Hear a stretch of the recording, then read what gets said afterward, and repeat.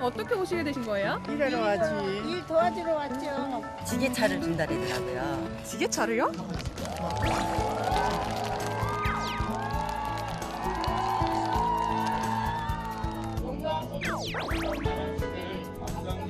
간절한 마음으로 농업인 지원 활동에 적극 참여한다. 농민들을 위로하고 일손을 돕기 위한 영농 8대식을 동시에 갖게 됐습니다.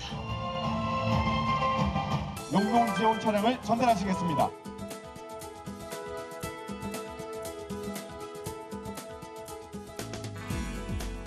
농촌이 가장 어려워하고 있는 이 농촌 일소 문제를 어, 우리가 완벽하게 농기계를 통해서 농민들의 농 작업을 대행해 줄 수 있도록 하는 발대식을 갖게 됐습니다.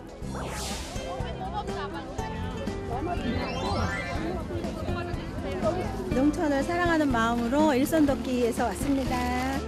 이렇게 갖고는 이렇게 이렇게 손 놓지 말고 그래서 저 그래서 고구마가 잘 안 열렸군요. 아 너무 힘들죠. 그래서 도와주러 온 거예요. 고구마도 심는 것도 저희도 배우고 아 재밌어요?